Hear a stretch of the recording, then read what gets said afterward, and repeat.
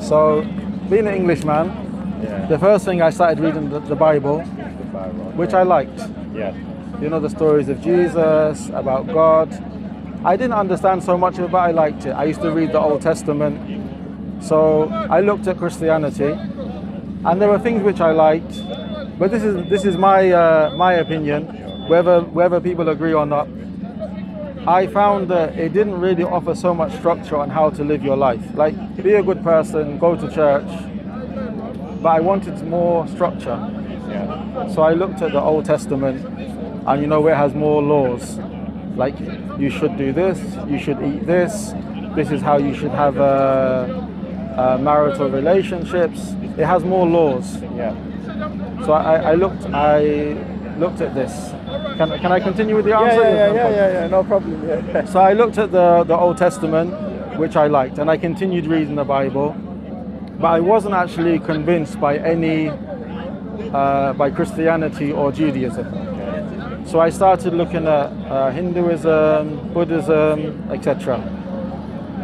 Then this is this is my this is my thoughts. It's I'm whether a person agrees or not. This is my this is this is my thought process. I felt that religions were made up by people, but there has to be a God. There has to be a life hereafter, and you have to try and live a good life. So I tried to follow what I felt comfortable with. Like I felt you shouldn't eat pork. Uh, I stopped drinking alcohol. Uh, I felt that you should have relationships inside marriage, and I just felt like I just tried to follow this, but not uh, identify with any particular religion. Then I was in my my friend's house, and there was a a brother from uh, who he he's West Indian brother. He had embraced Islam a year before. Uh, his brother's name Nasruddin. He used to be called Foxy. So everyone everyone said in the house, Foxy's coming. He came in the room and he spoke about Islam for five or ten minutes. For me, it was so clear, so straightforward. His message was the message of Islam, but this is what this is what the brother said from what I remember. Obviously, it was a long time ago. God is one. Worship Him alone. How do you know uh, one day we're going to go back to God? You're going to be judged, paradise or hellfire. How do you know what God wants? He sent messengers and books. When I heard it, for me, it's like um, it wasn't new. It was the, the example I give is, you know, your coat. Imagine you're, you're in someone's house and they say, brother, remember your, you left your coat. And you say, yeah, yeah, yeah. And you go back and get it. That's why, how I felt. Even though it's the first time I heard about Islam, when the brother spoke to me, it was like, oh, I know this. This is, it, my heart agreed with it. Yeah. So then, Alhamdulillah, a few days later, you know, the youngsters, they don't know. You know, Yellow Pages. Yeah, yeah, yeah, yeah. You know, before before internet, we had yellow pages. I looked up in the yellow pages. I looked up the, the mosque. I went to the mosque. I knocked on the door. I want to know about Islam. A brother, he was from Bangladesh. Uh, may Allah reward the brothers who took care of me.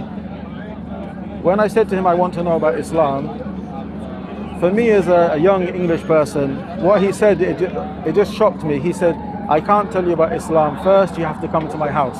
Yeah. So for me, someone I've never met before, he, took me to his house, and you know the normal Muslim way. He put the cloth on the floor. Yeah, yeah. He brought a bowl, and he said, "When we," he said, "When we when we eat, we eat as you know, like humble servants. We sit on the floor." He brought the bowl to wash uh, my hands. The brother was Bengali, so he brought his what he considered to be his food, and he made separate food for me in case you know my tongue couldn't take the the chili. Yeah, yeah, yeah. So yeah. I, I, I, I, couldn't believe like how kind and how generous these brothers were. So three or four days later, Alhamdulillah, I embraced Islam.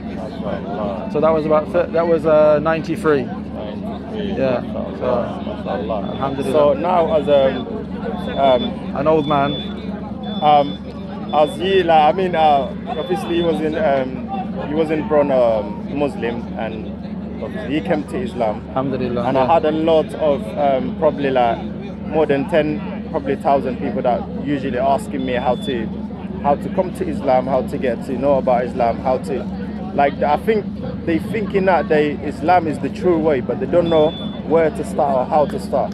So what's your advice should be to them? Like what would you say to them? Like Or people who are looking into Islam. um, yeah, I had a lot of them on my on my platform. Um, You say start reading Quran first, or go to some um, sheikh scholars, or how could they start? generally, you know, there's a, a verse in, in Surah Baqarah. It just comes, I believe, 256. It comes just after uh, Ayatul Kursi, where Allah says, La ikraha fid din, qad tabayyana rushdu min al It mentions that there's no compulsion in religion. So in, in Islam, or any religion, we can't force someone to believe, we can't force someone to disbelieve. But then Allah continues by saying, but the truth is clear from error. So, so when something is true, the person's heart should recognize it. Yeah, But I would advise the people to, you know, be sincere, yeah, ask the Creator to guide them, to open their heart to the truth, and yeah, read Quran and go to like trustworthy practicing people and ask questions. But yeah, don't don't be shy to ask because yeah, if I can't answer, I can find someone else who can answer. But but I'm I'm going to say this as a Muslim. Islam has all the answers. As, as long as a person's asking sincerely and they want the truth, Islam has the answer. MashaAllah. Thank you so much. No problem. The last question I want you to give us, uh, even for me, including me, I know is um, the deed is between you and Allah, but I want you to give us like from the morning to next morning, uh, in terms of doing deed, in terms of like, in terms of like you know what I mean, like uh, day day to day life. Like what do you like? You wake up in the morning, Fajr, then after Fajr, Zuhur, then after Zuhur, Asr, then Isha, then there's any extra deed, there's any extra way of. Um, Um, way of life like no, I know alhamdulillah. just just work, family. family We're, we're busy with family, we're busy Yeah. with work. Yeah. We try and be a good Muslim. So, you know, we are we are trying our best to Yeah. do the minimum. Pray five times a day, fast in Ramadan. Give our give our wives their rights, look after our children, our family, our parents, and then you know try to read Quran every day, yeah, and every then day. oh if- every day something, uh, even if it's one page. I'm, Yeah. not, I'm not not the Quran, but we try to read something every day. some of us maybe the last time we opened Quran it was last month Allah Alhamdulillah. forgive us No, but I would, I, I would, I would, I would advise myself Yeah. and other brothers. yeah You know, the, there's a hadith from Aisha radiallahu ta'ala anha in which she said that the Prophet sallallahu alaihi wasallam said, uh, أحب الأعمال إلى الله adwamaha wa in qal. The most beloved actions to Allah are those which are done regular, even if it's small. So I would advise every Muslim, even if it's one page, read one page of Quran every day. Once we be, once that becomes comfortable, you know when it becomes comfortable, a day you miss it and you feel bad. That you know, one page, then two pages, then three pages, and also for myself and others, try to read Quran in the arabic as it's the arabic quran. Try to memorize it try to learn tajweed but also read the translation. Yeah. And also as a muslim read something from the sunnah every day. Sunnah as well. yeah like even if it's two hadith three hadith from Bukhari, from Muslim, from Riyadh al-Salihin, anything we don't understand, ask a trustworthy Muslim. But educate yourself more. connect ourselves with Allah and His Messenger. Yeah. Sallallahu Alaihi Wasallam. Yeah. Thank you so much. No Sorry problem. to take your time. No problem, my pleasure. Now I just want you to recite something to us, hold the mic, anything, anything from Quran, and that should be the last question. I'm sorry.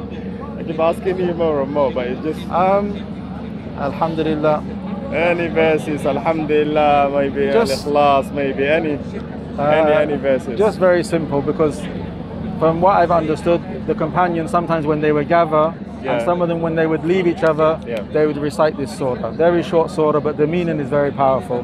Okay, mashallah, that's the first time I know that. بسم الله الرحمن الرحيم والعصر إن الإنسان لفي خسر إلا الذين آمنوا وعملوا الصالحات وتواصوا بالحق وتواصوا بالصبر Mashallah.